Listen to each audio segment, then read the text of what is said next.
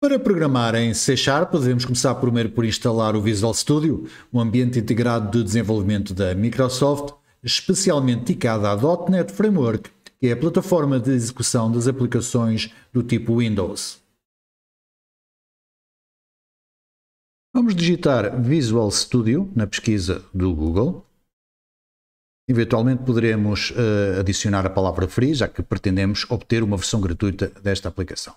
O importante é na página de resultados uh, termos a certeza que estamos numa página como sendo da Microsoft. Na página do Visual Studio uh, podemos procurar o botão que diz Free Visual Studio para obtermos então a versão gratuita. Vamos encontrar três versões: a Community, uh, que é gratuita e completa para estudantes, destinada ao desenvolvimento individual ou em projetos de código livre depois temos a versão correspondente para o macOS, para os, os, sistemas operativos da Apple, e temos ainda o Visual Studio Code, que é um editor de código uh, fonte. Podemos então pretender utilizar a versão uh, Community, Free Download, vai ser trans, transferido um, um instalador da aplicação iremos seguidamente um, executar. Um, este installer hum, é importante que depois não seja removido uh, do computador depois da instalação, porque é através deste, deste installer que, que podemos configurar e adicionar novas tecnologias ao nosso ambiente de desenvolvimento. Vamos então executar. Vai ser feito uma, uma ligação para descarregar de facto o installer.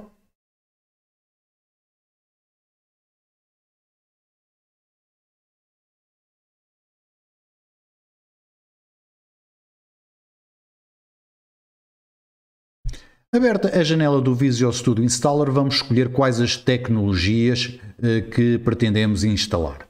Neste caso, como vamos fazer o desenvolvimento em C Sharp com a .NET Framework, então vamos localizar a categoria Desktop e Mobile e vamos selecionar uh, .NET Desktop Development e também o Universal Windows Platform Development.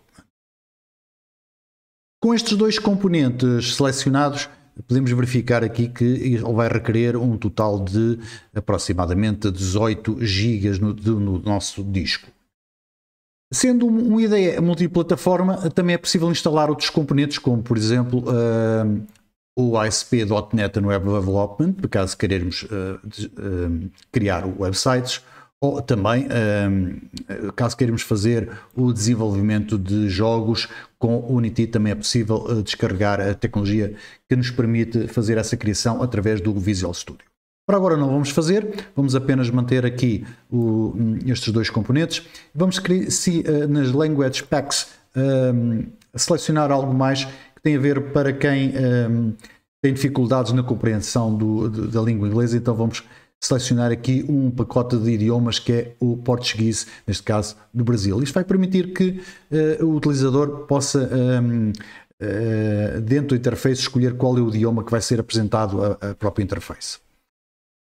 Agora, iremos fazer então a instalação Existem aqui dois métodos, um que é para instalar uh, e, e, enquanto esteja um, a fazer o download, ou então aqui o download all e depois install, significa que primeiro descarrega todos os componentes e depois faz a instalação. Um, isto poderá ser recomendado para quem tenha uma internet lenta ou inclusive uh, quando existem picos e constrangimentos de largura de, de banda.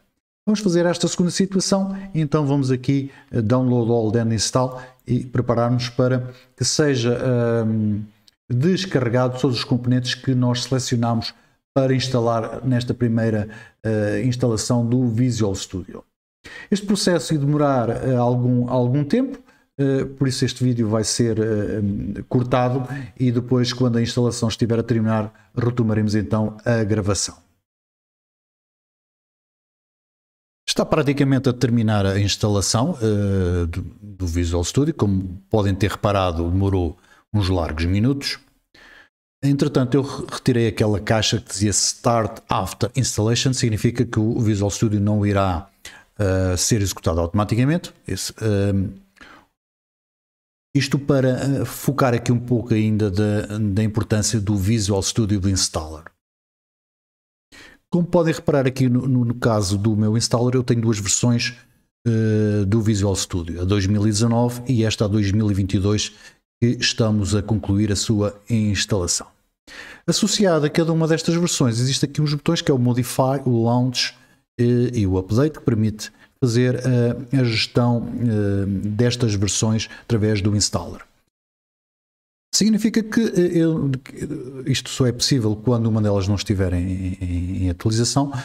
É, é possível então, através do installer, eu fazer aqui a gestão uh, das minhas versões do, do, Visual, do Visual Studio, do que tiverem instalado. Iremos agora então sim fazer o launch do, do da versão uh, 2022, portanto a versão mais uh, recente. E agora sim posso aqui eh, fechar a janela do installer. Uh, estamos a verificar aqui um splash screen, portanto a janela de, de, de, entrada da aplicação e está a ser preparado, digamos assim, verificado se está, está tudo eh, em condições. Esta será a primeira janela que, que vão encontrar e que é só exibida a primeira vez tem a ver com hum, a possibilidade de utilizarmos uma conta para eh, entrar no Visual Studio. Relembrar que não é obrigatório durante os primeiros 30 dias eh, na versão Community, eh, mas ela necessitará de uma chave de ativação. E essa chave de ativação só é possível através de um registro de utilizador, de uma conta de utilizador na, na Microsoft. Neste caso aqui vamos ignorar isso por enquanto e uh, seguidamente temos uh, a possibilidade de uh, personalizar qual é o esquema de cores, ou seja, o tema que queremos aplicar ao interface do Visual Studio. Isto pode ser feito a qualquer momento, portanto eu posso aqui alterar não só as plataformas de desenvolvimento que eu estiver a utilizar, as tecnologias, mas uh, também poderei uh, escolher aqui o, os temas que pretender aplicar. E vou assim iniciar o Visual Studio, esperar alguns segundos até que os preparativos para a primeira uh, utilização terminem. E estamos finalmente na, na janela uh, principal a partir do qual fazemos toda a gestão dos nossos projetos. Segundo a, a Microsoft, esta versão 2022 uh, eh, promete ser, comparativamente a, a, outras versões anteriores, mais rápida, mais acessível, mais leve uh, e indicada para, para criar uh, projetos modernos baseados em nuvem com o Azure também da Microsoft. Iremos eh, tentar comprovar isso em outros vídeos.